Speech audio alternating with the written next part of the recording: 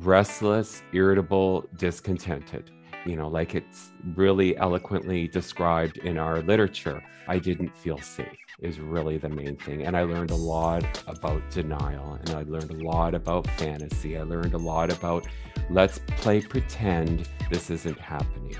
Hi, Tony. Thank you for doing this. If you want to just sort of introduce yourself, uh, please go ahead. It's always better when it comes from the person. Sure. Thanks for having me here, Mike. Uh, my name is Tony, and I'm a recovering alcoholic and drug addict and codependent. Um, just a little bit about myself. Um, my sobriety date uh, this time around is August 1st, 1998. I am a member of uh, various 12 step fellowship groups. Um, the uh, most recent uh, coming around of, of, August 1st, 1998 is, uh, is my sober date, but it's not the first time I found recovery. I found it probably about 13 years prior to that. And, uh, but this, uh, this date is what I call my surrender date.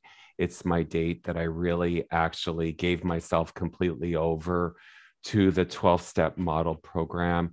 Um, I struggled a long time with that, particularly around the higher power stuff. But you know, being one where I was really completely expunged of all resources and all, I guess, manipulations, and I had no other options. I really had no other option but to turn to a higher power and the program. So that is my current sobriety date. Um, I call it my God date, if you will. And I pray uh, that that never changes. I, I, don't think that it will. I don't know how much you want me to get into things um, at this stage. Um, but I am a, uh, um, a member of AA, and uh, but I'm also a recovering drug addict. I think primarily drugs was my was my thing for a long time. I did drink alcoholically, but I used the fellowship and the program of AA primarily uh, for safety reasons, um, and um, you know, not to sort of pit one against the other. I think they all draw on their various experiences and have fabulous things about them. But my primary fellowship is Alcoholics Anonymous. I also work in the field of addictions. I've done that for a number of years, since about 2002. So I do work for an organization that models off the work of, of the 12 step model. And so that's really great. So I kind of live and breathe and, and I'm very passionate about recovery. So it's really kind of nice because I get an opportunity to like really live this life, you know, and there's no shame. Uh, there's no having to hide it. Uh, there's, uh, you know, an ability to kind of wear one face all throughout, which is really nice. I know a lot of people don't really get that opportunity. Uh, I'm very transparent with my recovery life, so my family knows about it. My, like I said, I work in it, so my my work life knows about it. Every pretty much every aspect of my life is is really rooted in this. So that's really really fabulous, I think. Um, and as I'm speaking these words, I'm realizing just how lucky and grateful I've had that opportunity because a lot of the people that I work with you know, I have a recent sponsee actually that um, struggles with that, struggles with the honesty and being uh, really transparent and accountable to his recovery and has struggled with it, as with many of us. So, um, I don't know. Did you want me to talk a little bit about my story and what brought me? Yeah, today? I think I just want to kind of mention it's just nice hearing you describe that. I think also for the people that will listen to this, I think one, you know, from the work, from being around you in the program and observing your commitment to it and how you live the principles of the program, I, I find very admirable and and which is part of why I wanted to have this discussion with you because you do really you're just a great example of the program and so um, I, I i do want you to get into your story a, a bit and but one thing I want to ask you, which we maybe would have gone into later, but since you kind of mentioned it, this idea of finding, I think you said like the safety of AA. I think I often find that interesting. And when talking to people who may consider a 12 step program of recovery, I I often have those thoughts in my head because I also found safety in AA and found wisdom there and guidance and all that stuff, which I didn't necessarily find elsewhere. Not to say that it isn't elsewhere or in other programs, because I definitely learned from other programs. But yeah, maybe just if you could share your thoughts on on that kind of balance mm-hmm. between particularly i think for people in early recovery finding a group that is safe and stable right with with wisdom to draw from and, and maybe just how you think about those things mm-hmm. sure so um, i first of all you know grew up in a what i described to you as a normal alcoholic upbringing um, there was a lot that went on particularly in my developmental years um, particularly around trauma and not feeling safe. So, not feeling safe has been a key indicator all the way through my life. Didn't really understand this for a long time. Actually, well into my recovery life, I didn't understand you know the need to feel safe and how important that is to the recovery process. And so i never mm-hmm. had that you know i just it was never really something i always suffered greatly with anxiety. Um, i was restless irritable discontented you know like it's really eloquently described in our literature that looked like a lot of things particularly in early developmental years um, it looked a lot like you know attention deficit disorder it looked a lot like negative acting out it looked a lot like you know, I was getting into trouble being the class clown. It looked a lot like a lot of things.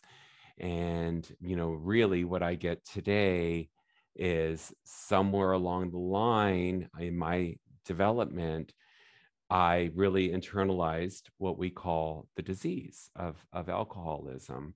And, um, you know, and it's really cunning, it's really baffling, and it's really powerful.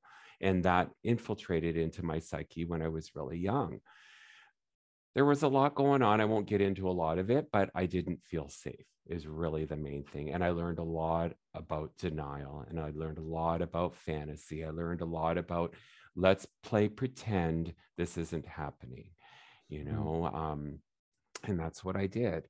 Uh, in order to feel safe as a child, I gravitated to, you know, things that in my perception gave me that ability, which was a lot to do with separating myself from people because a lot of my feelings of unsafety were coming from experiences involving people. So as a kid, I just thought if I just stayed alone and in my room by myself in my world of make believe and fantasy, uh, that would be the ticket. And that actually really worked marvelously for a long time.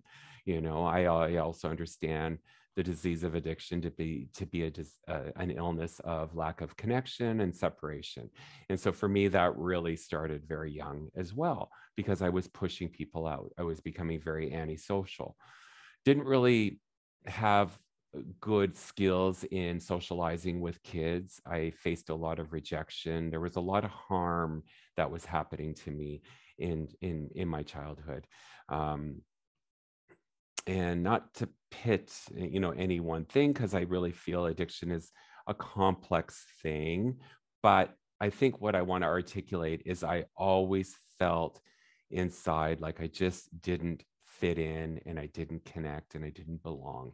Didn't feel it in my family and i didn't feel it outside. I didn't do well in school because i was always off in daydream world in la la mm. land um, so when I found substances and drinking, drinking was actually my first thing, uh, my first substance. Actually, smoking was my first substance that I got addicted to. But the first one that really led me into serious consequences was drinking and substances. and um, and that worked marvelously like i remember that first experience of drinking really it being very profound and i had what i would describe as a spiritual experience i had a spiritual awakening like my spirit came alive and i felt free and i felt great and i felt fabulous and it was something that i i remember distinctly feeling when I that first surge of warmth and calm and and it was a ma- it was magical. It really was. And I remember wanting to feel that way whenever I could. And uh, so and and then it quickly went in that first experience went into drunkenness and then I blacked out and it was kind of ugly after that. But what happened in my brain, in my mind, was that alcoholic obsession kind of got turned on. And it never left me, never, ever until I actually surrendered. Um, so I had a lot that went on. You know, there was the progression of the disease. I quickly found drugs and the party people and started to get into a lot of trouble. Um, just escaping. That's what I did. I, I was escaping from myself and from reality, really, because the reality that I knew at that time was too tumultuous and there was too much going on and too much suffering and hurt. Um, and so drugs and alcohol really was my escape mechanism that really worked quite marvelously for a long time until it didn't work anymore. That started happening around the age of 23 where i had my first overdose. That landed me into a treatment center and that's where i started to understand the process of recovery. I started to get introduced to it and that's where I found AACA. I'm from another Windsor, Ontario originally, so um, Windsor is a small town, but you know the good thing about Windsor is it had Detroit across the river, and it had a big city. What had had had a lot of recovery going on there, and we used to do a lot of the other fellowships because AA was was in Windsor, but fellowships like Cocaine Anonymous, Narcotics Anonymous, they were pretty much bigger in Detroit.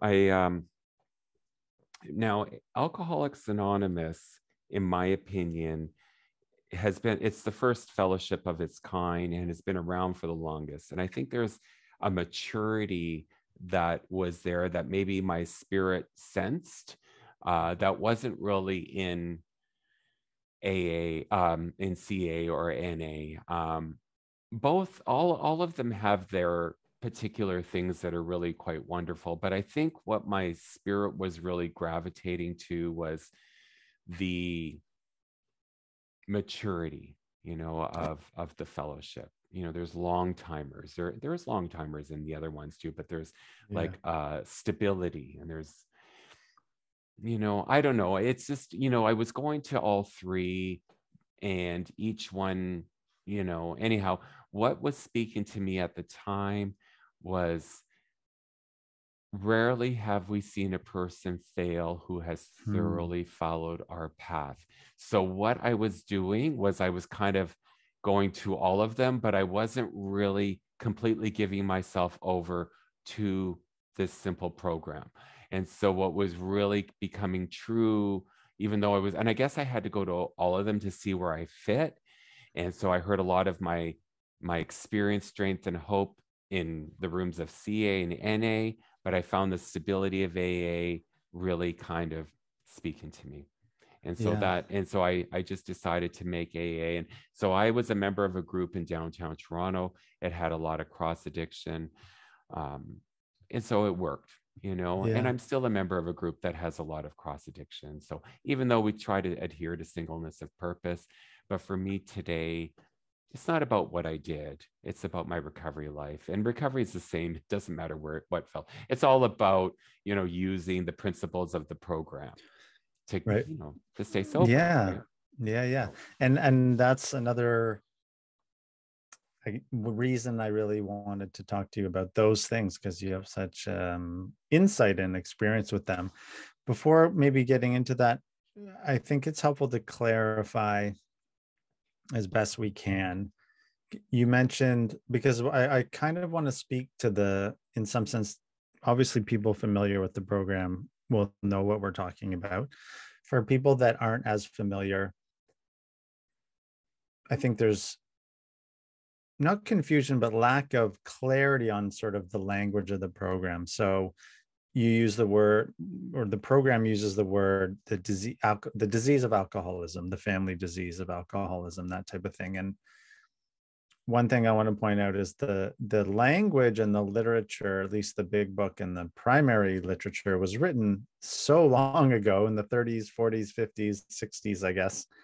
I don't know when the last edition came out, what, but so by when when the the word disease is used, really it's implying a malady, right, of the mind, body, spirit, mm-hmm. and and so I think some people get caught up in the words you know oh it's not a disease it's a habit or it's a this or it's but in some sense what we're learning is to surrender or to let go of our obsession over trying to define things and use those as excuses not to follow the guidance maybe or the principles.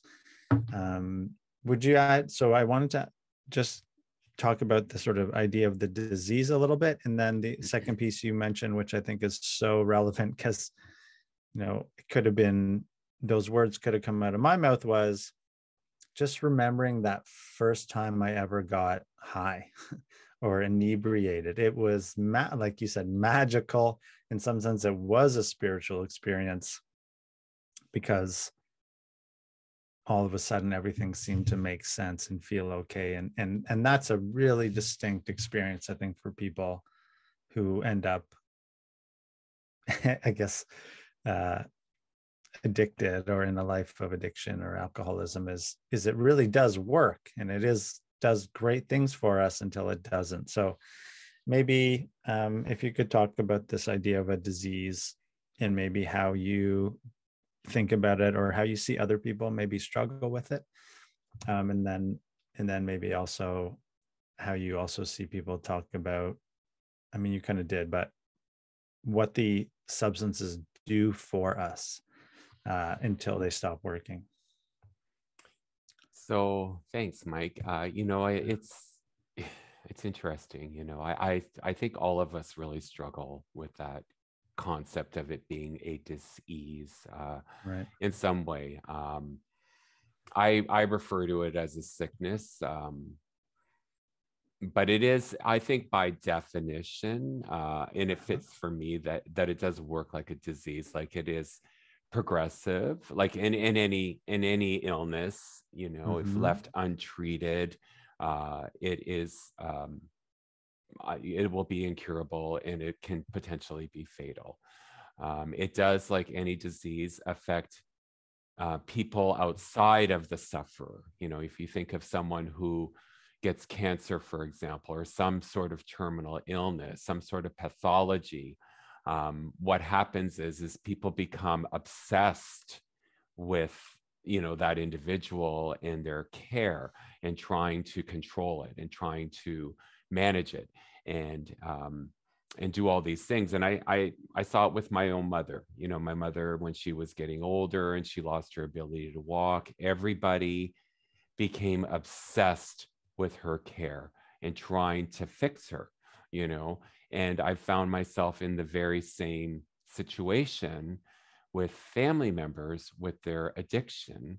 The the exact same dynamics were happening uh, with me doing all of us actually really but that's kind of what landed me in al-anon because i was doing the same bloody thing over and over and over thinking i wasn't going to do this and it and it's progressive and it's and it's much the same trajectory in those of us that are affected by right. the disease as the person who's infected with the disease you know, we all somehow fall into the same booby traps, right? And so, you know, I, that's how I kind of look at it. That, you know, yes, it may may start out for most of us as habit, you know that it's like oh we take this and it, it feels great and we just want to keep doing it and it then it becomes a habit but i think we cross somewhere along the line those of us that have addiction you know we cross the line somewhere along the line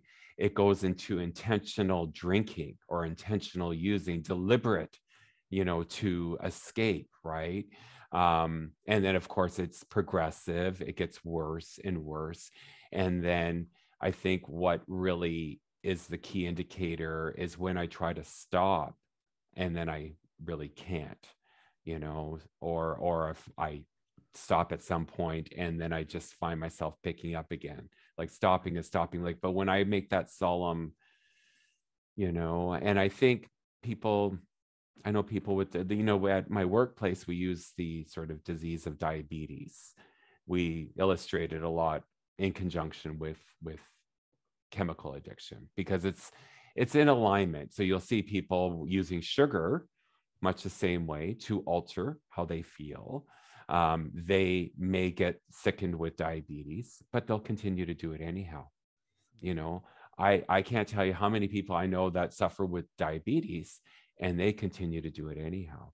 Now, diabetes may not cause the same kind of behavioral uh, issues that uh, alcohol and drug addiction will, but it's the elements are the same. They're they're doing it. It's hurting them.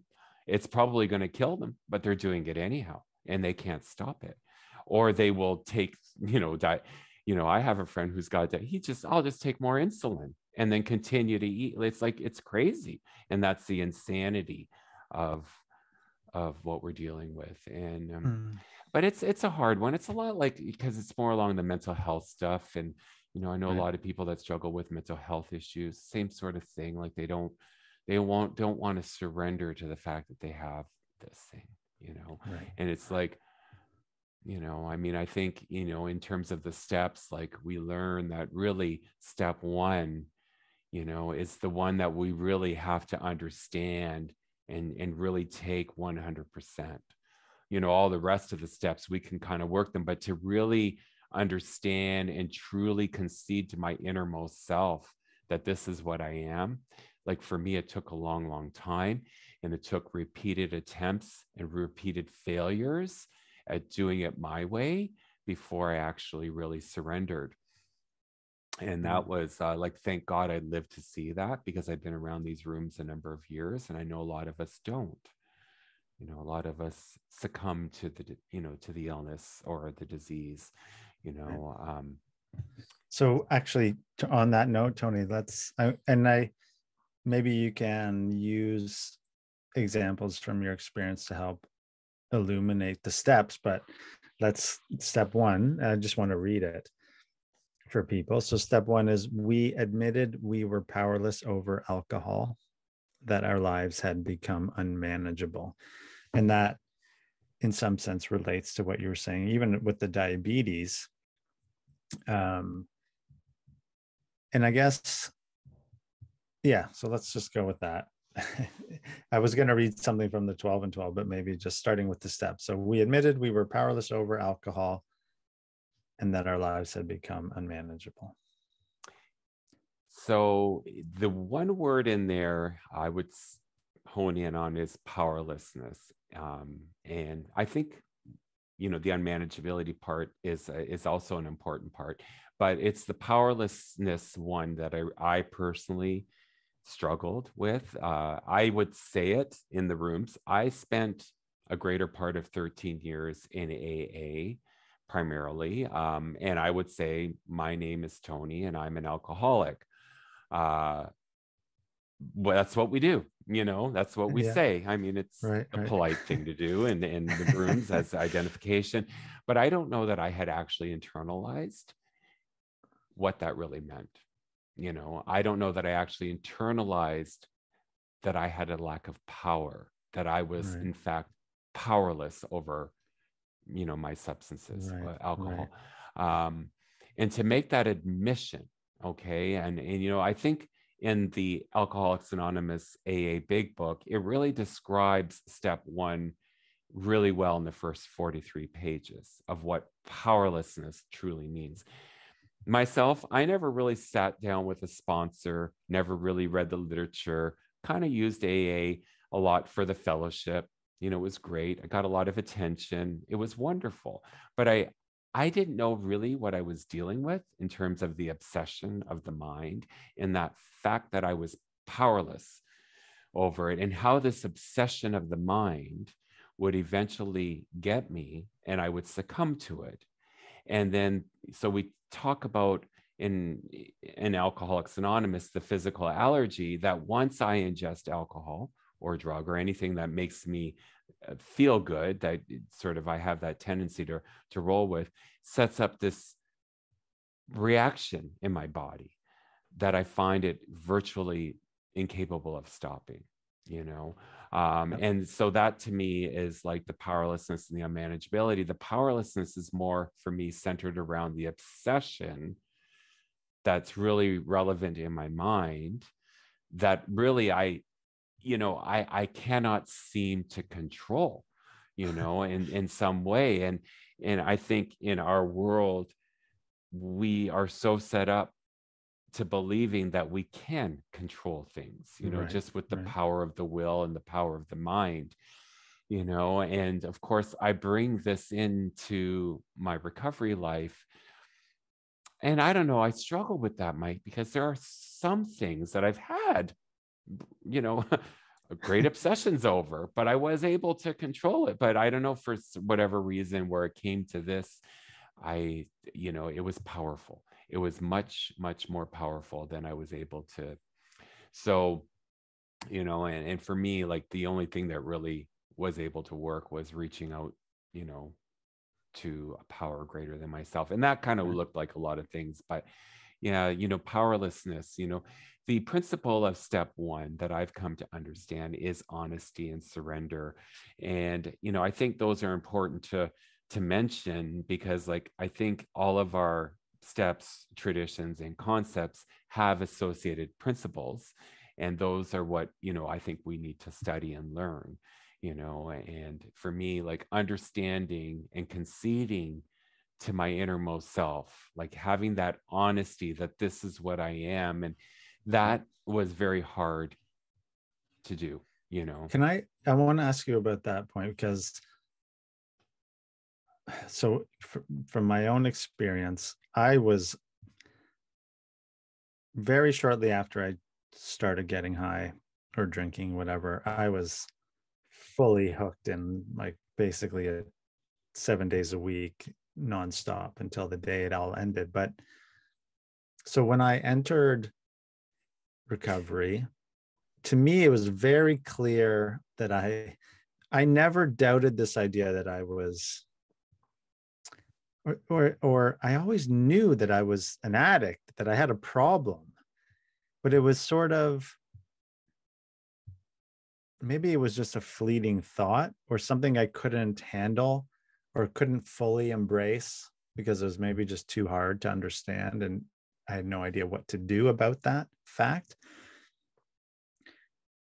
And maybe just and because as you were speaking i never really thought about it this way. So i was clear that i was an addict. Every time i tried to stop i couldn't stop. I had various consequences as a result of my using. That didn't deter me. Um, but i but that concept of powerlessness which is so as you say uh, fundamental and important for us to move on. I don't know how that emerged for me or or like i knew i couldn't ever stop or do it on my own but i think there's a difference between a recognition of knowing you have a problem and the idea that you're powerless and and then the paradox of that admission is power in some sense, right? So by admitting that we're powerless and surrendering, we gain power or agency or strength or something. Um, but maybe, uh, do you see any difference between sort of the knowing that you're fucked up and the admission that you're powerless over it? I think, you know, by me making the admission, although I didn't use that word, you know, uh-huh. when I uh-huh. was in yeah. that moment of surrender, what I did say was I could not do this anymore. Like I okay. made that yes, yes, conscious yes, yes. acknowledgement that right. I understood I ha- could not live like this anymore. Yes, right. And right, right. I was prepared to do whatever it took Right, this time. right. You know, Okay, so I was that's in a really nice. complete Yeah, yeah. state of surrender. Right. I remember I was on my knees in my apartment upstairs, Uh-huh. sobbing uncontrollably, crying out to whatever was out there. And I didn't know what it was, but I just knew I was done. I had no other options. And I, and that's when grace came into Mm. me, you Mm. know, and, and, you know, it just, I think by that admission, because that was my admission, Yeah. of powerlessness, of hopelessness, that it actually opened me up. It opened something up in me Right. to the possibility of hope. Because I was in that jumping off place that the big book describes, that I couldn't live with it and I couldn't Right. live without it. And I wanted to jump off my ninth floor balcony mm-hmm. because, like, I was so far backed into a corner in that moment. You know, it's that seemingly hopeless state of mind and body that is described.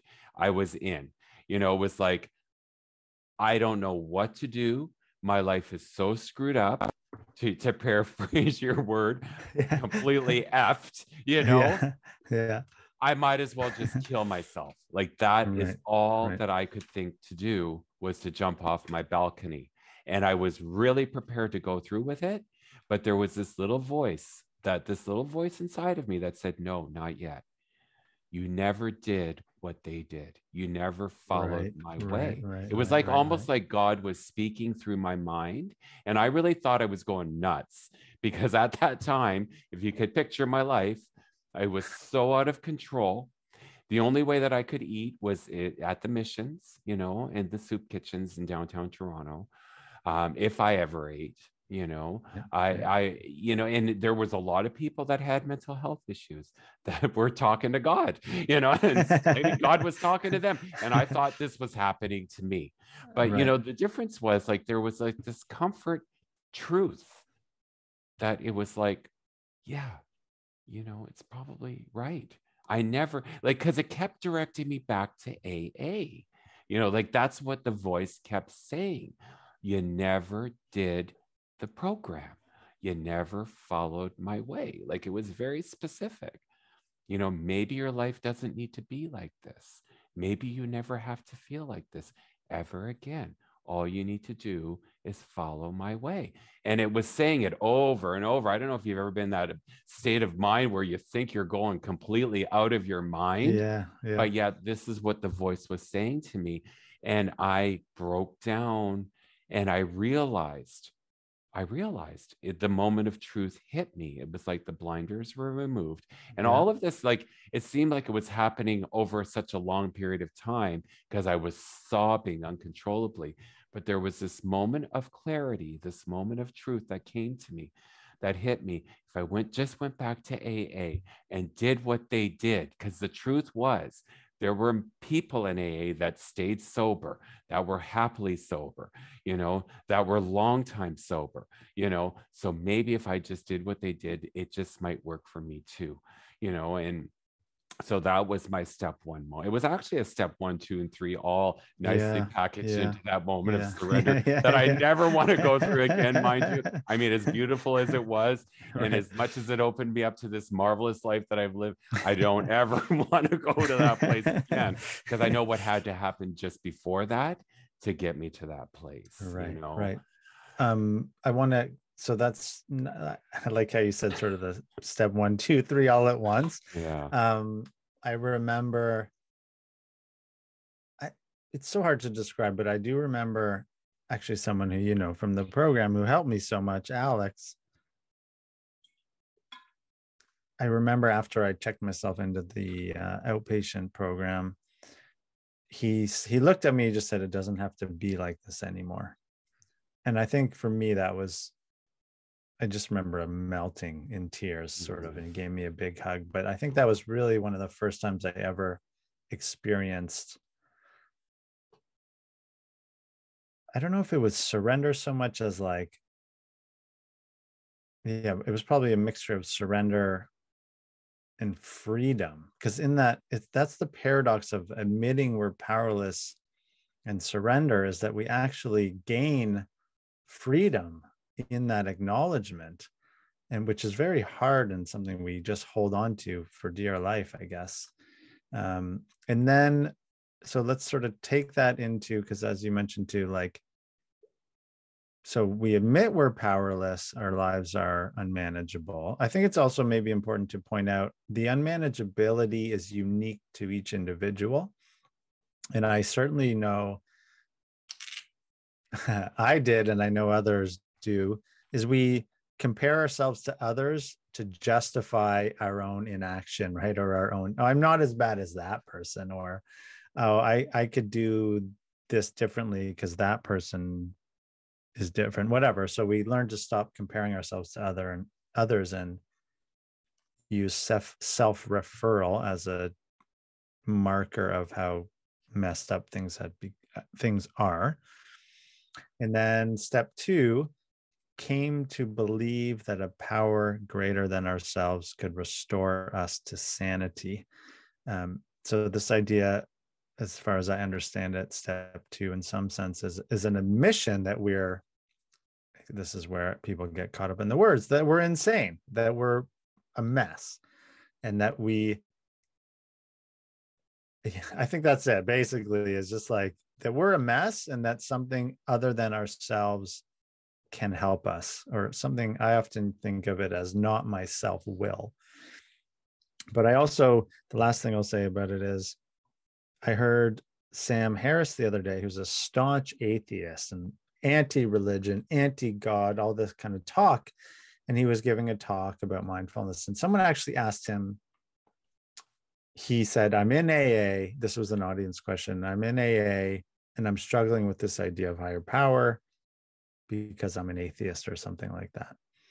And I was shocked at Sam Harris's response because he's so anti God and religion. He said, Well, to me, that I don't know how much he actually knows about the program, but he sort of said, from what I do know of other people in the program or what I've heard, to me, this idea of a greater power is not hard to get around in some sense as an atheist because everything is a higher power. He said it was so interesting. He's like, you know, just the fact that we're all alive in this world doing what we're doing is an absolute mind boggling thing to contemplate. And so he sort of, I was just, I thought it would be important to add that from an atheist perspective that it's not about God in a Christian or or Islamic or Jew like the tradition, the traditional modern religious context. It's not that. And I think it's important to clarify that. I know it was for me because I couldn't even say the word God for a few years. Um, anyway, that's my little story of of step two. But can you continue i guess because you said you had all three at once i guess so what yes. yeah what does step two mean for you and maybe anything about the sanity piece or so thanks for clarifying that mike first of all because i know a lot of people come to the program with the same thing going on you know yeah. uh, i did too i v yeah. I, grew, I was raised christian um, and uh, catholic to be Mm-hmm. Uh, and there was just a lot of baggage that came with that. And so, and I vehemently denied the existence of God. I started doing that when I was a little boy. Um, and yeah, so I think a lot of people come to the program with the same confusion around the word. And I understand today it's it's just a word that describes a supernatural experience and it's hard to articulate with our human conception of mm-hmm. what that supernatural experience is. We just know it works. We know it transforms lives. We don't know how. It's just like there's something that happens, and you know, it, it, it, it's such a like I don't get caught up on the language. Like I read I'm a very much a person that uses the big book. Um, it's a dated book. It was written in the yeah. 30s. It has a lot of language that I know it ruffles a lot of feathers. Did that with yeah. me too. I don't get so caught up in that anymore because now I understand it's about the principles. It's not about the language and how the book, yeah. you know, I think the thing is, when I hit that moment of surrender, that meant I quit fighting. Yeah. I was in surrender. you know, I was in like, okay, what do I got to do here? I mm-hmm. didn't right, balk at things. It didn't mean I wasn't afraid. It didn't mean I didn't think things and I didn't want to do things. It meant that I was, because, you know, the reality was I did anything in my disease, in my active addiction, right. especially in crack cocaine. You know, when I was on a good run, there was nothing I wouldn't do for more you know and you know i just had to just tell myself in my recovery like are am i willing to go to any lengths? The answer was yes. So that meant i stopped debulking i stopped saying yeah but you know i stopped doing all of that stuff because the truth was you know it worked with people like i saw it. I saw people that were joyful that were happy that were free you know and so, like, I just is do I want what you have? And am I willing to go to any lengths to receive this? So, I just want to read one thing because it really mm. helped me to understand unmanageability. Yeah, the, the unmanageability step one. It's on page 52. And it said, We had to ask ourselves why we shouldn't apply to our human problems the same readiness to change our point of view. We were having trouble with personal relationships. We couldn't control our emotional natures. We were a prey to misery and depression. We couldn't make a living. We had a feeling of uselessness. We were full of fear. We were unhappy and we couldn't seem to be of real help to other people. So, that to me really demonstrated what unmanageability meant. You know, like, and I still get that sometimes, you know, like all of a sudden I'll get this visceral reaction. You know, for example, somebody will do something I don't agree with at work, and I'll get this visceral reaction, even though, like, I, you know, and it's like, where does this come from? You know, or I'll get totally, thoroughly annoyed.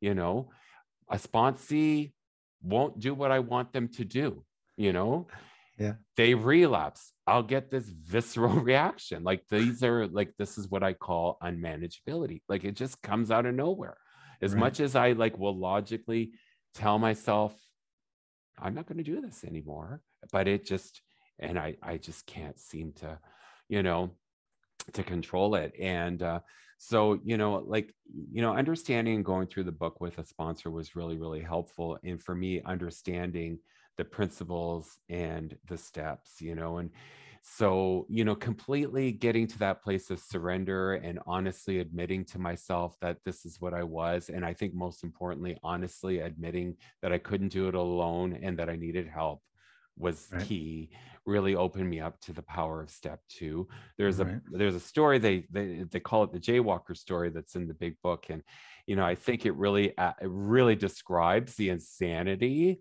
of the you know like you know how the person goes out and has this addiction to jaywalking and then like you know and it, just i think it really uh, illustrates the insanity of the disease i think what what they're talking about is not so much insanity in terms of like um it's like why we keep doing it over and over in spite right, of the fact right, of right, saying we're not going to do it yeah, again yeah, you know? yeah. And mm-hmm. i think a lot of people get caught up on like how dare you say i'm insane you know? Like it's like you know because like i think a lot of us want to believe that we've got it all under control. Like i don't know about you but i would never let you really see me. And that was insanity. Like here i am and i use this analogy of like saying help me with keeping you at bay and pushing you away but here i'm saying help me you know yeah, like yeah, yeah, you know like that's insanity here i'm coming to you asking you for help but then all of a sudden in my mind i'm like oh that's not the help that i was asking about you know like i would think the help was supposed to look a certain way you know yeah. and for me i had to get right with and i still have to to be honest with you mike because i I like to think I know what I need, you know, and I have this arrogance about me, you know, and and you know, of course, like I want to gravitate to the easier, softer ways. Like, who wants to do spiritual work all the time? Like, who wants to go out and help others all the time? You know, I'm selfish and self-centered. That's the core of my ism. I truly believe that. You know, I in itself will look like a lot of different things at any particular day. But at the bottom line, you know, that's I, I don't want to be transparent. I don't want to, you know, do all like pick up the phone, reach out for help, like all these tools. Like in my alcoholic state of mind, I don't really want to do these things. Right, right, right, right. Unless I have to to save my life, Right. you know? Yeah. And um, you know, so step two for me is like, you know, open me up to the power of the program and the power of, you know, that there might be some hope for me, you know. Um, Mm. and to me like that is the spiritual principle is hope you know and that you know just maybe Yeah. it might work for me if i continue on with the program you know? Right. I am I have my big book here too, and I have that section highlighted on page 52. I want to so let's go on to maybe step three, but I want to I'm going to read from 52 as well, because it's on this point of um, power greater than ourselves. We agnostics and atheists were sticking to the idea that self-sufficiency would solve our problems.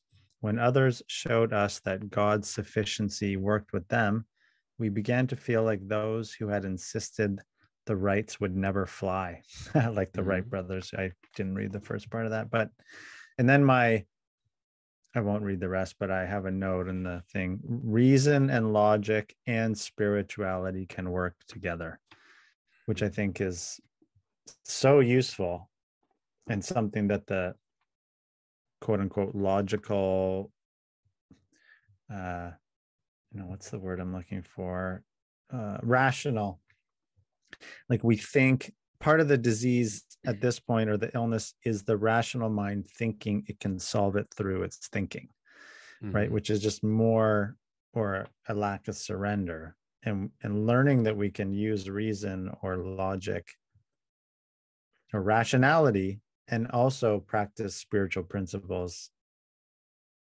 is so empowering in some sense. But i guess part of the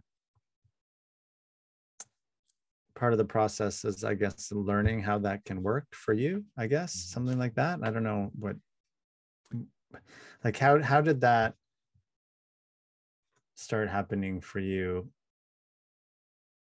The balance between using the rational mind and the thinking mind with the spiritual principle of surrender something like that Well, I think I, I've always relied, I've always thought I had a rational mind, although it's Yeah. completely irrational, but I always thought I did, you Yeah. know, like I really did. Like I, you know, going back to my original statement about not being able to trust and feel safe, I went into Right. my head.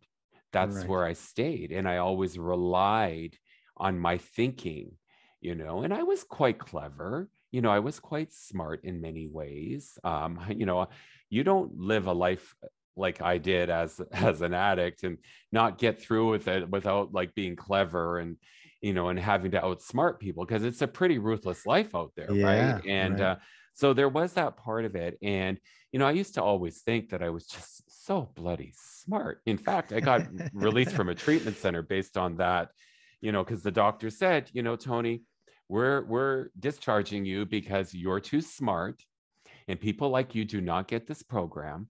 So you, we're wasting your time, and you're wasting ours. So we're going to let you go. And I remember being so offended. Like, what do you mean you're discharging me? Like, you're supposed to be helping me.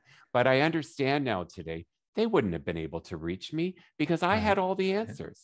Right I knew, you know, I was always there with some sort of rebuttal and had some sort of answer. You know, I'd be sitting there arguing with my therapists. Here I'm in a treatment center. I'm completely insane and I'm arguing with them, you know, like, yeah you know, so I get it now.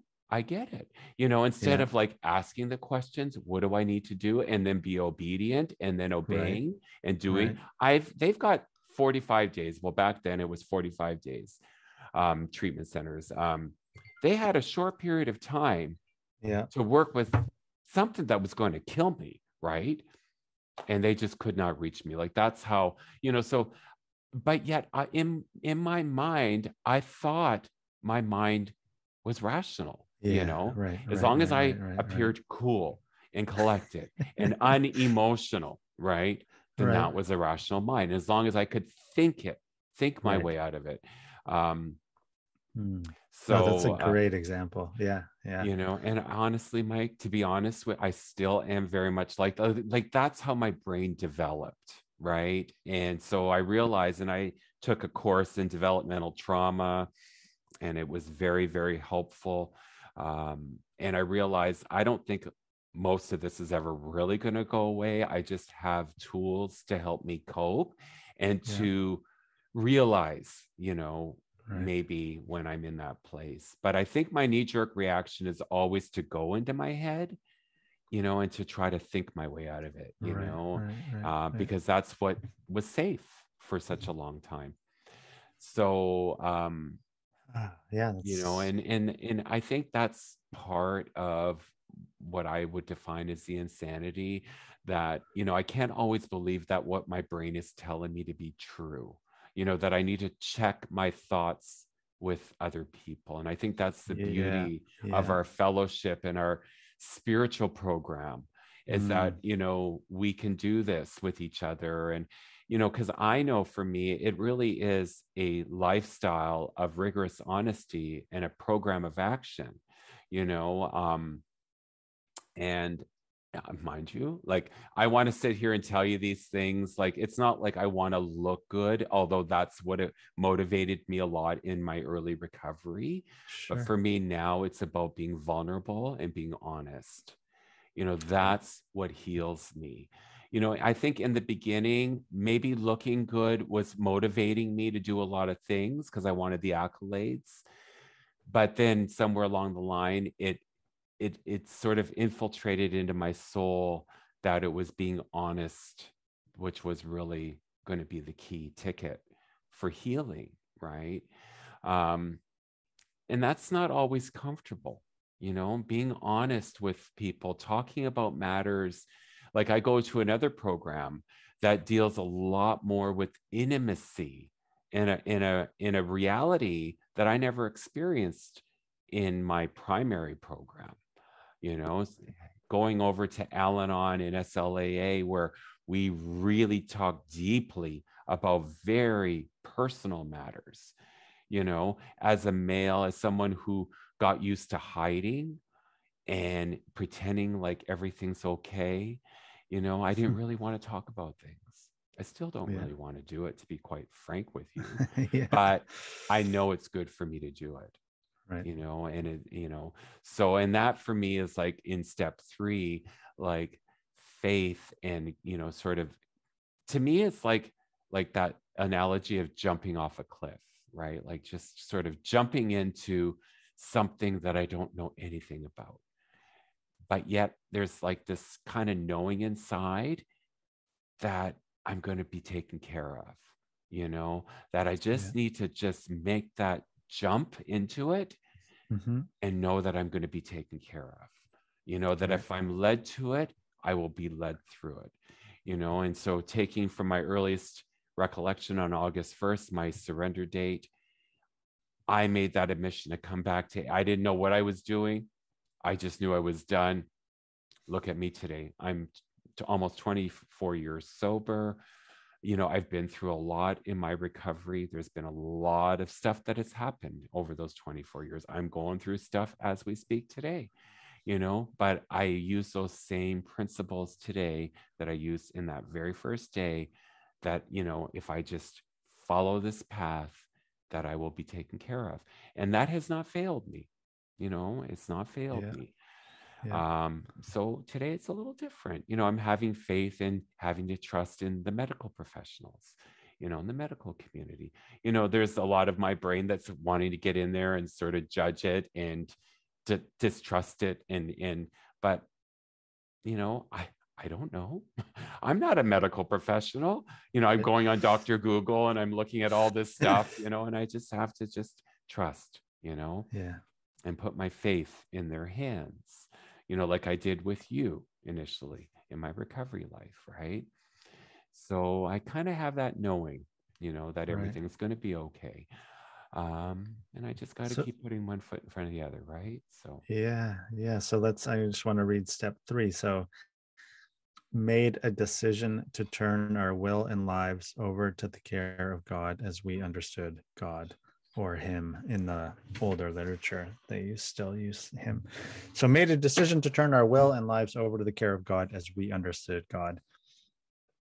And that word God is interchangeable with higher power and in I know in MA and Marijuana Anonymous, they often replace the word God with higher power in some of the literature. Um, so this idea, I think I remember also it being drilled into my mind was, or at least I experienced it as it was the first time I think in my entire life, or maybe in my adult life, that I actually made a decision from a place of surrender or that wasn't ruled by my self-centered self-will. Because that ruled my life for so long and that's what caused me to use nonstop and and so that idea of oh my god for the first time in my life i can actually make a decision that's in service of my well-being. And if i just keep trusting this program which is the sort of that principle of faith maybe it's just going to be okay you know? If i if i just because you mentioned it nicely too just if i just do what they do you know if i just follow the directions because a lot of us come in so defiant and and scared and self-righteous and all these things and if we can just let go and make that decision to, to turn over our self-will and surrender step three i think for me is also a lot of surrender um, then we can sort of move forward. And so I know in early recovery, they sort of say, you know, you go to the one step one through three rooms or you work those ones rigorously. Um, but yeah, maybe just kind of you have described it nicely, but just this idea of making a decision and turning over our self will or turning over our will um, I know there's a lovely prayer that I often use or just repeat to myself, just not what is it, thy will, not mine be done, that kind of thing of just let, please get my angry self centeredness away and let me surrender to a higher power to help me in this moment. Ah, yeah. I'll stop talking there. Yeah. Thanks, Mike. Yeah. No, that's the, uh, I think that's the, the pivotal step you know that's the step that you know i launches me into the program of action right? I mean you know we hear a lot in our literature like one two and three are really theoretical. They're stuff that we can think about. They're not really action steps although i've kind of i feel that they are somewhat action steps. Uh-huh. um you know because making that decision to turn my my thoughts my my thinking and my life uh, yeah you know is is a it's a huge undertaking right yeah. like when you think yeah. about it like that's like a, you know we say in aa you only have to change one thing and that one thing is everything and that is so true you know and like going into like jumping into a life that i don't know anything about you know like i just know how to be a drug addict, alcoholic, living in yeah. the streets. Like I have no skills, none of that stuff. Right. And, you know, that's what I bring to AA this time around, jumping into a life that I don't know anything about.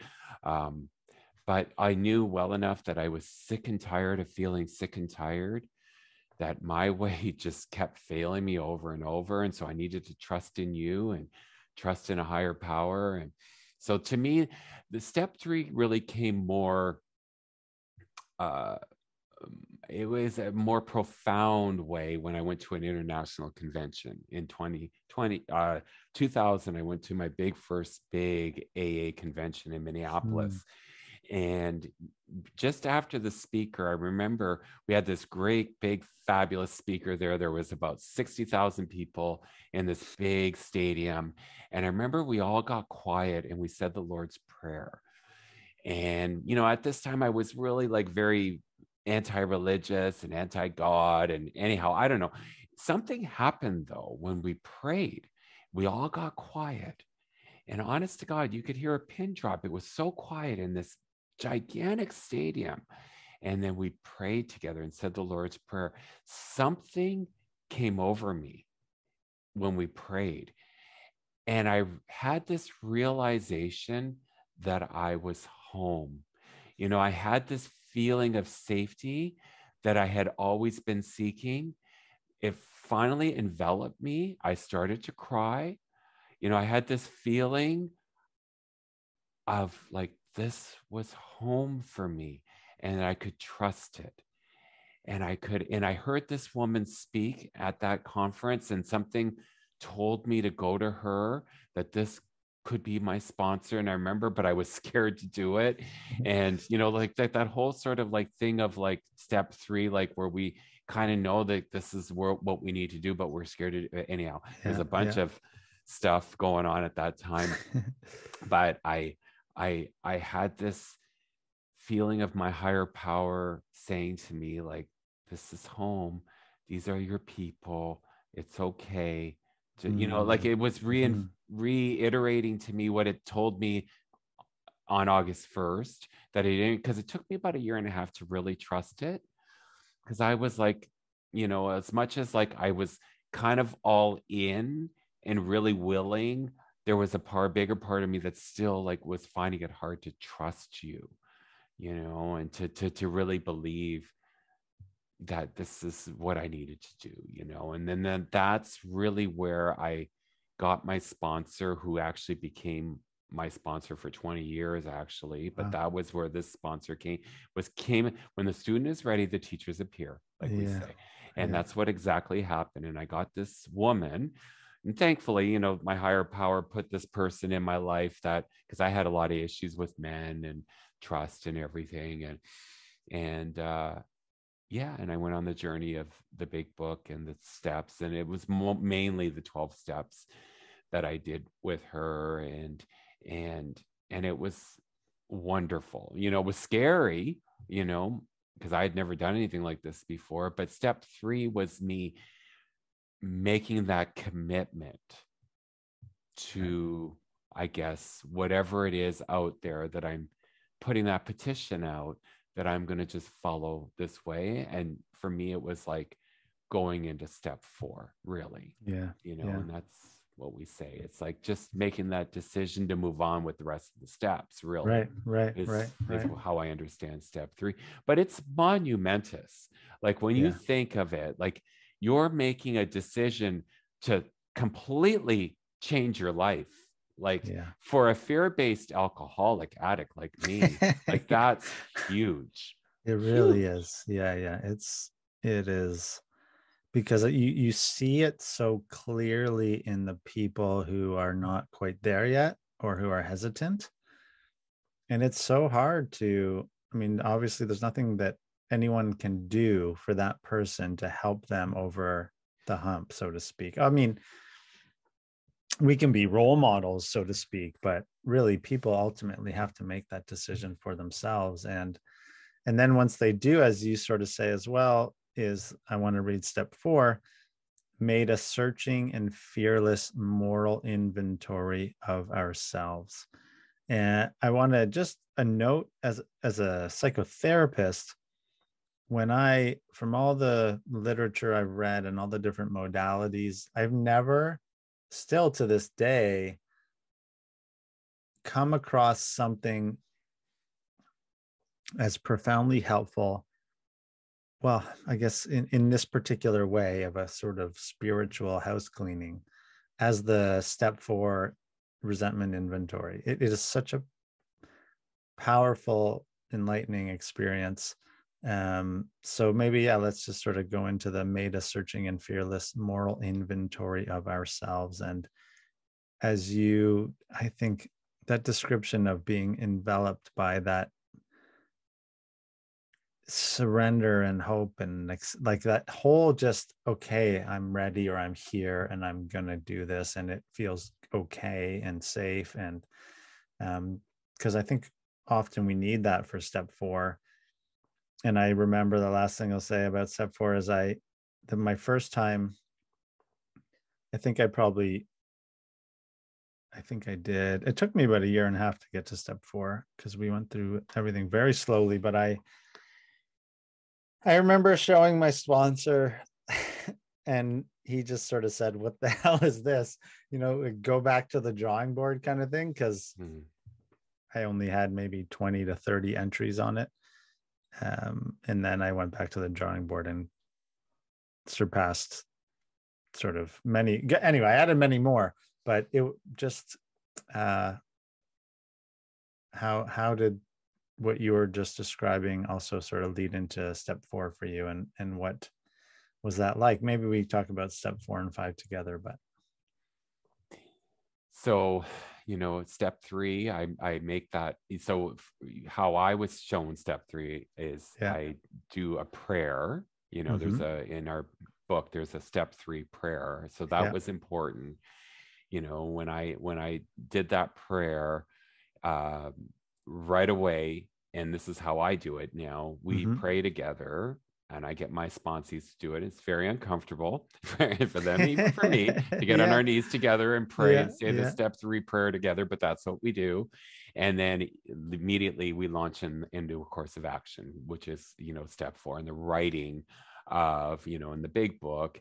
It's pretty simple. We write our mm-hmm. grudge list, our resentments, our fears, and our harms, you know, and then we use uh, there's there's worksheets which makes it kind of easy to do. Yeah. And it's like, what did it affect? You know, and then we and, and we find, you know, it's like it's a process. I feel like it's really everyone should do. You know, I mean, yeah, it's yeah, a yeah. I think everyone should engage in a process. It's unfortunate that we just kind of like have to get our lives so mangled up before we discover this, but it's a very yeah. beautiful. Uh, it is. And, you know, yeah. it's a self-searching, right? It's like really sort of digging in to our character and really digging in to uh, areas of our of our psyche that it's like you know why wouldn't we want to learn how to be better people I, I think the world sets us up though to not really focus so much on that but to focus on things that will drive materialism and you know you know competitive status and, and status yeah. and all that. It's not really about building a, a, a, character right? And so i didn't know anything about that. I had never heard of it like who who anyhow who wants to do stuff like that? It's yeah, so uncomfortable yeah, yeah. it is it dig is, up all this stuff and look at all like oh god you know? But it's so cleansing and healing and so yeah and i mean it's it really describes it very well in the big book. It's like you know we just kind of list who who we're angry at why like what they did yeah. and what it affected. And i think also too is like i think even in step five when we're doing step four and five uh, with our sponsors we kind of look at you know because i think step five and the purpose that I understand step four is to understand what are my blocks? What are my character blocks that lead me to not being happy, joyous, and free? Because mm-hmm. I really understand our 12 step program is designed to build a spiritual experience in us that will lead us to being happy, joyous, purposefully free people, right? Um, and to give a life of purpose um, and meaning, right? Uh, and and to clear away all of that stuff that was acquired through the survival right of our alcoholism and addiction so um, i need to clean the slate and i think step four is a great way for me to do that and to help me understand what my higher power's purpose or intention was for me all along. Because, like, if we take it back to step three, and if we look at the literature, it, there is a part in the in the step three 12 and 12, it says our whole problem had been the misuse of our will, right? Yes, and it yes. was never brought into agreement with our higher power's intention for us. Right. So that is the safe way to bring me into step four to understand what my higher power's will was for me because like to remember all that stuff that happened to me and the way that i had lived that was all self-will whether it was coming from other people was never really my higher powers will that I blamed for such a long time because I was always believing that God did this to me. God gave me this shitty life. God made this terrible stuff happen to me. Yeah, God yeah, did this because that's what I was always told growing up in my Catholic upbringing that bad things happen to bad people. So all this terrible stuff happened because I was an inherently evil and bad person. So this was all manifest of self, right? And I didn't understand this until I actually got down to causes and conditions, which is what I, I'm asked to do in a fourth step, is to get down to causes and conditions, right? Honestly. And so the principle of step four is courage, right? Mm-hmm. And I think mm-hmm. it really is a fitting principle because when you think of what we do in the fourth step, where we write out all this stuff, you know, our resentment, our sex conduct, like all this stuff, like yeah. who does that? Like, you know, totally, like ever really, like when yeah, you think yeah. about it, like, I don't know about you, you probably, you know, cause you're, you're, but most, I think most marriages, like in most relationships, we never talk about this stuff eh, as honestly and openly and you know in our in our preamble it says we beg of you to be fearless and thorough from the very yeah, start like yeah. you think of those first 100 that came together to to bring this book to us and and all that we have in aa what they must have gone through you know and to be so mangled up like they were all last gaspers just like me you know they had tried every trick in the book and then finally surrendered that this was the only thing that worked for them this spiritual solution you know you know and i think again like bringing it back to step one like that's the one we have to really take 100% because if we don't take that 100% step one we're not going to do the rest of the steps in succession in a manner that we need to really do to heal you know so i mm-hmm. understand why step one needs to be the one that has to be absolutely without a doubt 100% taken you know in in a way that you know we have to be convinced that this is truly the path we need to be. So in step three being convinced you know a the a b's and c's. A do i understand that i'm alcoholic and cannot manage this on my own? That probably B, that no human power will be able to do this for me, and C, that God can and will if he is sought. That's the part that opens me up to the power of step four. And really to write it out in a way that like I need to be like diligent and get it all out there and not worried about, oh my God, I have to share this with my sponsor, but to write it as though nobody's ever going to see this. Right. And to be honest and fearless and searching, because those are the watchwords for step four yeah. fearless and searching moral like and and that's the part like you know i think a lot of people stumble on is like Uh, write out the stuff that i have perceived as being right or wrong or good or bad you know, right. in my life. Right. And so I need to really take this step with a lot of fearlessness, you know, because I don't know what that is. Like, I don't yeah. know what that is until I actually share that with a sponsor. Right. And, and, and admit it to a higher power.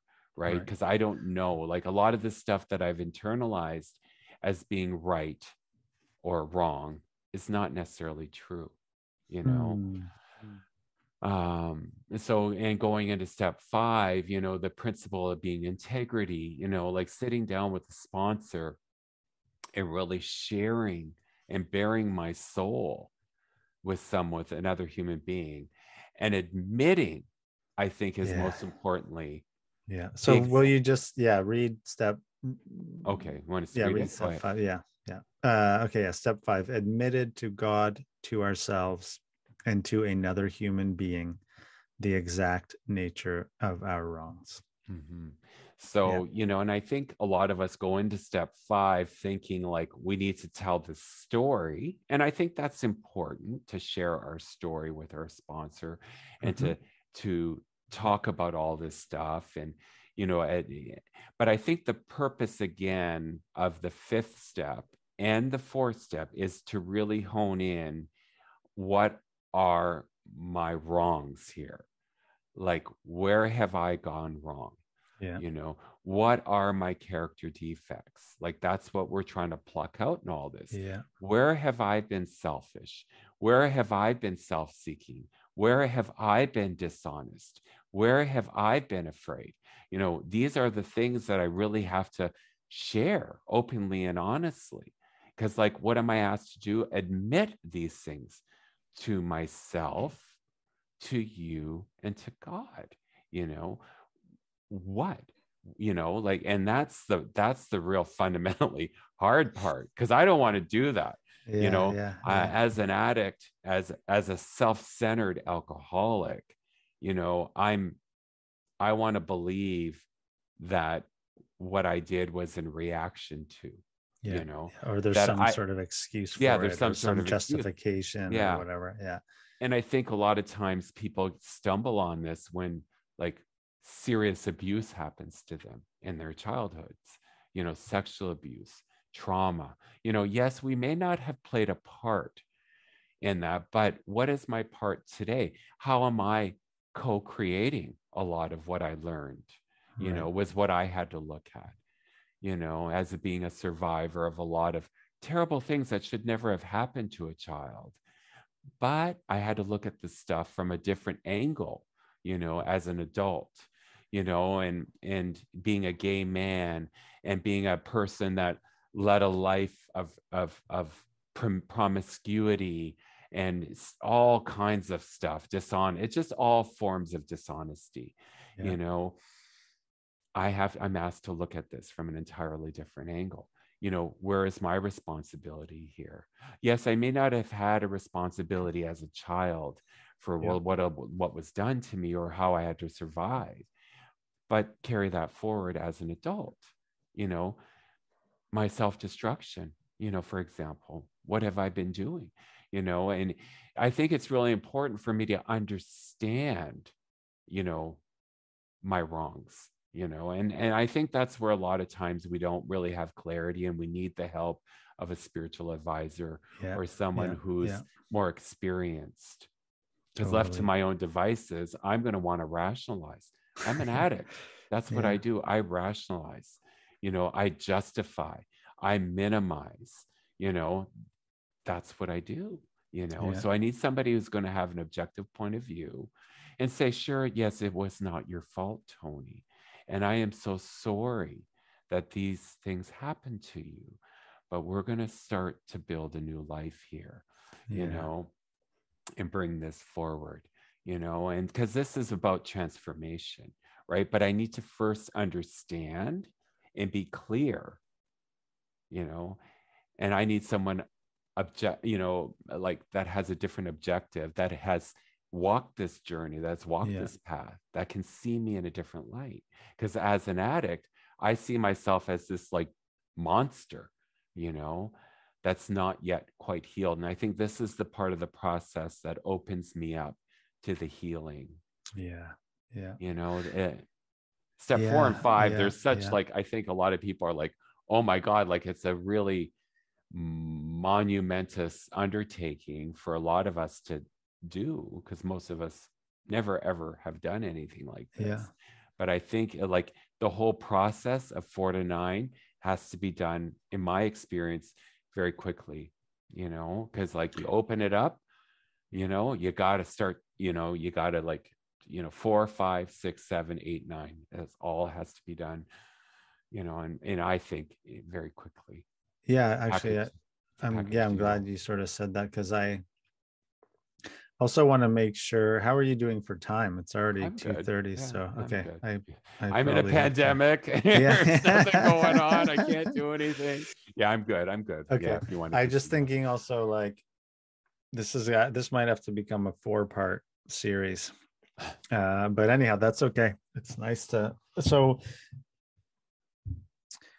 i i remember my sponsor i guess one of my perhaps defects or one of my shortcomings was always like we're not moving through this fast enough got to go faster because I was always like, you know, look at that person. They came in the door after me and they're already at step whatever, and I'm still on step whatever. Um, and he just was very patient and sort of, you know, just this is your journey, not anyone else's. Like, slow down. And so when I was ready for step four, whenever we got to it, it certainly was incredibly healing and scary and uncomfortable, all the things you kind of described. Um, I guess I just kind of think, I wonder in your experience, and this is sort of my experience, I guess, and sort of how I was taught is it depends on the person, of course, but in order to thoroughly do a step four and to perhaps be ready to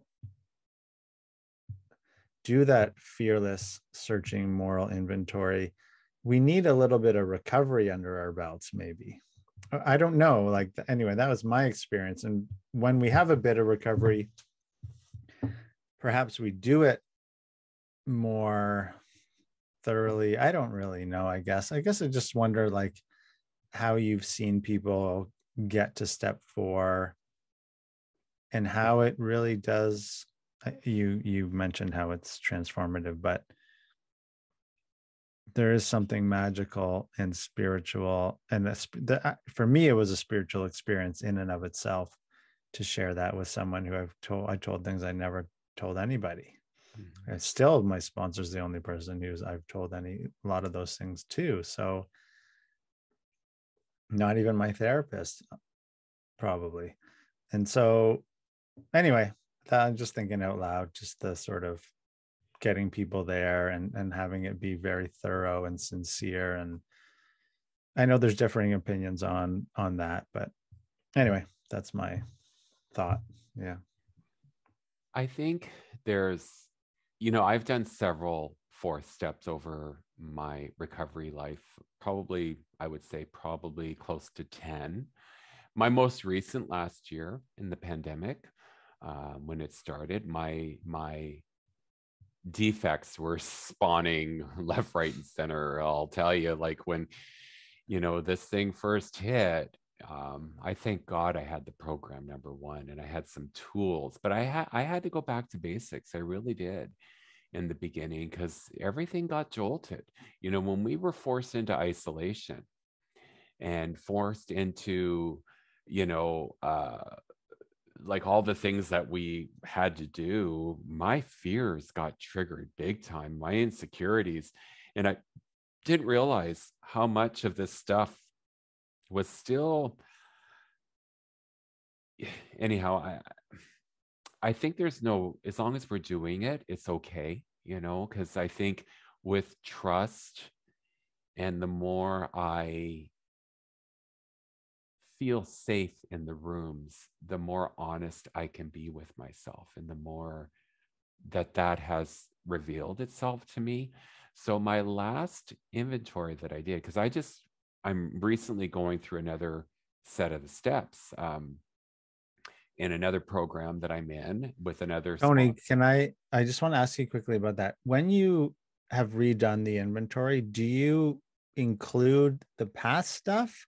if it's still present or is it mostly new stuff that you are adding so this one was new material it was okay, this yeah. this one was on i was going to share that it was on the seven deadly sins so i'd always done inventories out of the a big book or the al-anon yeah. paths to recovery because yeah. i right like okay but this one my actual my sponsor because he was in a member he he was also a member of an o- overeaters anonymous and they had a uh, format that was taken from the seven deadly sins and it had a 170 questions that wow. were all tailored to pride lust gluttony sloth um, wow. wrath wow. you know the seven deadly sins sure and i sure, had never sure. done an inventory on the seven deadly sins yeah which, yeah me you know, we all have yeah, yeah yeah and i'll tell you mike this was probably one of the best inventories i ever did one of the most revealing right. focused heavily on the sexual component, which I really needed for me this time around,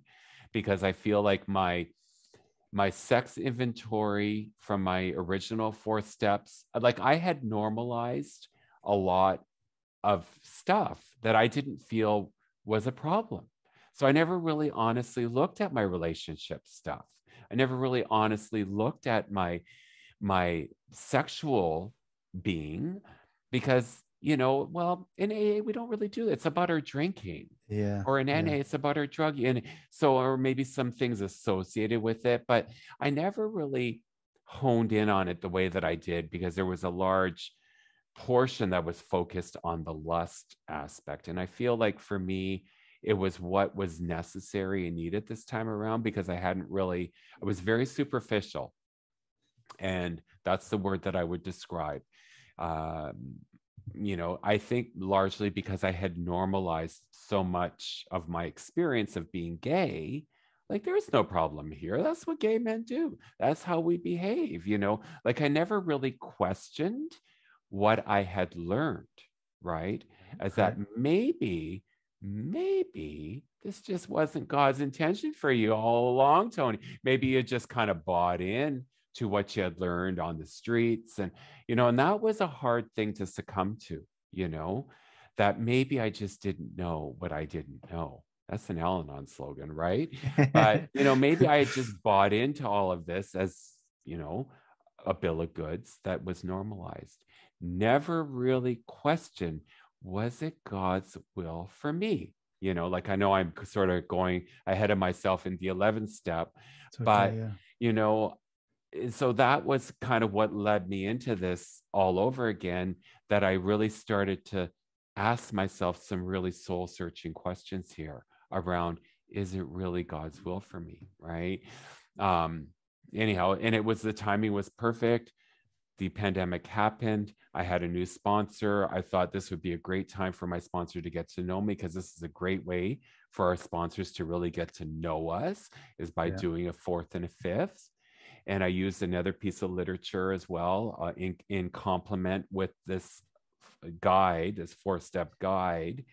Um, and it was exactly what I needed. And it was like, for me, it was like all brand new again, because to be quite frank with you, Mike, you know, I had done a lot of four steps over the years, but it was kind of the same material. So mm-hmm. it was the kind of the same stuff that was being regurgitated. So this was like it was all brand new again. So it was like I was almost like a brand newcomer all over again. And quite frankly, you know, I was really trying to treat myself like a newcomer in the pandemic, making outreach calls, like doing all these things that I actually hadn't had to do in a very long time. Because, like, I was a person that was kind of known in the community. I didn't have to actually make outreach calls in years. Like, I don't remember having to do that in a long time. Like, people call me.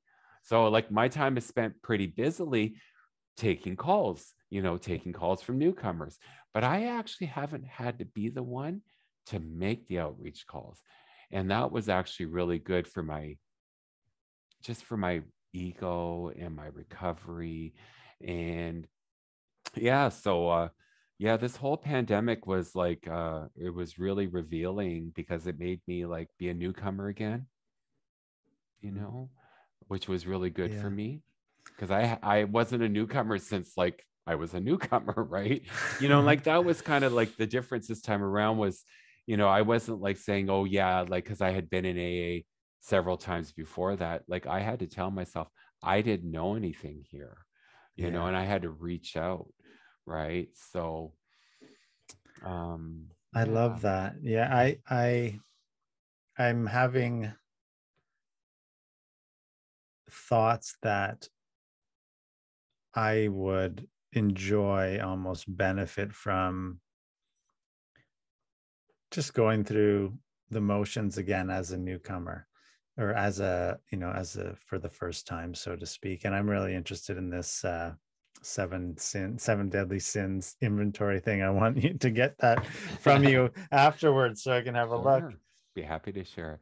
So i joined another yeah. fellowship right which was slaa and saa and so for me it was like this is all perfect like i can be all brand new yeah and not be the old timer AA person that I had been. right, right, right. I'm brand new. I'm in a brand new program, brand new fellowship. It's like it was all perfect. It was all in perfect alignment. And it was very humbling, you know, because like, yeah, isn't this what the steps are teaching me to do is is be humble and to Mhm. rely on God? You know, just like it wasn't it self-sufficiency failed us, you know, self-reliance, you know, like that's my thing, right? I always think I I can figure this out. I don't have to turn to a higher power if I can right, right, right. figure it out. Like, why would I? Right? Isn't that what the world teaches us to do? Like, just be smart, you know, figure it out. You know, would you ever go to your boss and say, I don't know? You know, like, I mean, in ways like the world sort of sets us up to not like do this stuff, right? yes, And yes, yes. in many ways. And I think that's so unfortunate, you know. Um, anyhow, but yeah, like so all of it was really in perfect alignment with the pandemic and you know for me to be new again and and to really lean into the program and to to my higher power you know? Um what else could i do? You know it's like when it talks about in the 12 and 12 about like could these aa stay sober under the misery monotony of war? Like that just like spoke volumes to me when we were going like when we had all of this taken away from us. Thank god we had zoom thank Yeah. god we had an ability to connect. I don't think those aas when they were out to war had that ability you know but they stayed sober and what how they stayed sober was they relied on their higher power right? And so that's that's what just kept speaking to me is like just lean into this lean into it tony. Breathe into it. You know i had to mm-hmm. meditate. I had to do all the all that stuff that i was really kind of taken for granted all along you know uh, just running the meetings. You know, I couldn't just run the meetings anymore. Well, now, I, yeah, we can. Like now with the Zoom and everything, right, like we can go to meetings 24 hours a day now if we wanted to, but initially we couldn't. You know, and so, um, Hmm. Yeah. Yeah. it's so nice to just hear the. I- as you were talking, I was thinking of um, a book, a Zen book, um, Zen Mind, Beginner's Mind. It's called, mhm. and sort of the whole principle of Zen in that context, or just of is beginning again, and sort of this idea of of remaining teachable. yeah and Yeah, just yeah. that we don't have the answers and and Yeah. that even if we think we have the answers or have had them in the past and that they've served us that doesn't mean that we've crossed the finish line in which case we no longer need to be humble and willing and open to answers coming or that we don't need to seek answers or clarity right or guidance. Uh, and so it was just so nice to hear you kind of describing that. Um, there's also a saying in in buddhism something like if you see the buddha kill it or if you think you're the Bu- buddha kill it kind of thing it's like if you think you have the answers then that's a problem because you don't or or it's the attachment to thinking you have the answers that's going to steer you in the wrong direction or perhaps keep you closed off from being open to what might arise um, out of a sort of humble beginner's mind idea Mhm. and that um, I think I'm trying to, or I'm, there's a bit of that going on for me right now, I think, of,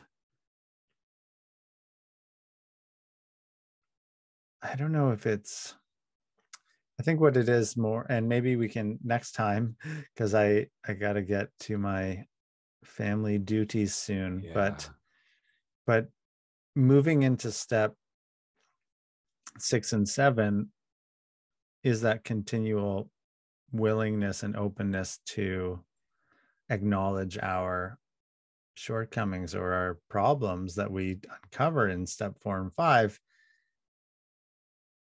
and not it, it- not that it's just a one-time experience which i just love which i so which i also greatly admire about you is how you embody these practices as a way of life and so you find them and you continue to do them and and yeah i'm, I'm sort of trying to i'm trying to or i've been experimenting with using sort of psychotherapeutic i don't know practices on some of the things that i'm suffering with or get caught up with you know that might be on a inventory. And seeing so for example um, i'm not good at managing i'm not good at tracking finances which i guess would be managing them. And i have i'm in a position where i could work more if i really wanted to but to get more work takes a bit of effort. That's hard for me like sort of the this administrative work that I need to do to get more clients because they're all waiting for me. You know, all I have to do is just go through these lists and contact people and whatever. They're just waiting for you, Mike. yeah, like he, you know, not me personally, but they're waiting for somebody to call them. Well, yeah, but yeah, they're waiting yeah. for you. Yeah, yeah, for yeah. sure. And I, eh, but that's hard and uncomfortable for me, you know, because then I have to feel inadequate and I have to feel I have to accept that this is difficult and it shouldn't just be handed to me and that I struggle with these things. And so to me, it sort of pulls on, a, I don't have resentment, but I have self loathing, you know, sort of self criticism or hmm. a sense of inadequacy, all that kind of stuff, which I'm, I'm really trying to draw on the skills I learned in the program and what the program teaches us and, and apply them to my modern struggles or my present day struggles uh, and that's been interesting and i i think I'm, i've only recently really allowed myself to see that and to and to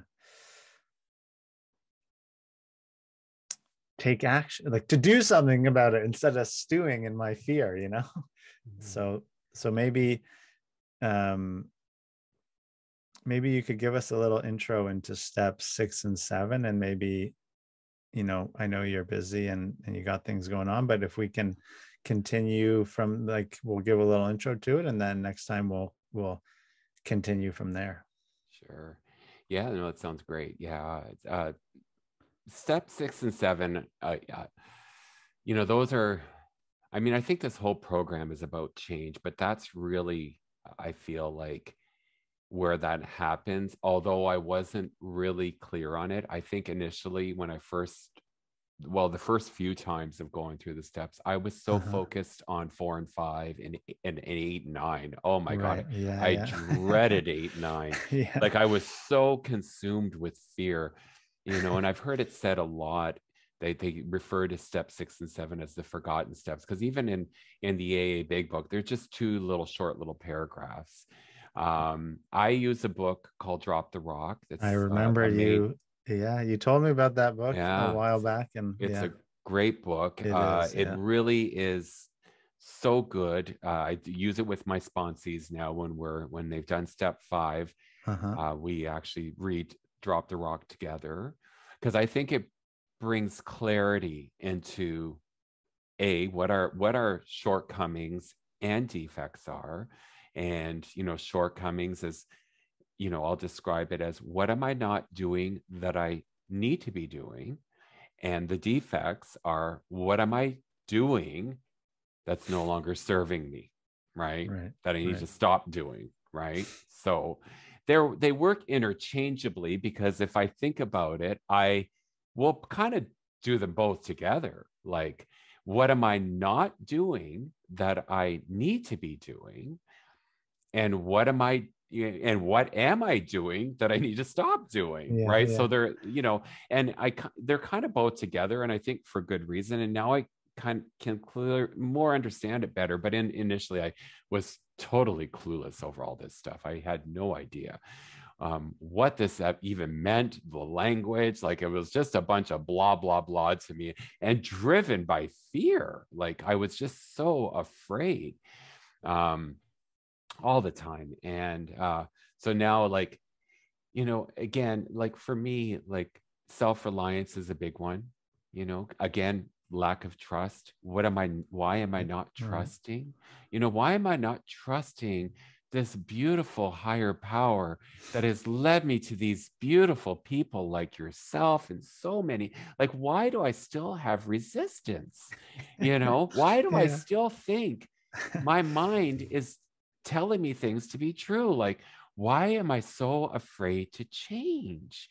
You know i work in this beautiful environment and i have this wonderful boss that only really sees i mean i don't know what she sees i never really ask her but i know she sees the very best in me and wants me to succeed but yet for some reason i think it's not true like you know and so all this stuff right? And uh so i really need to like hone in and again like trusting in my higher power's will for me right and the power to carry that out you know like that's the deal here and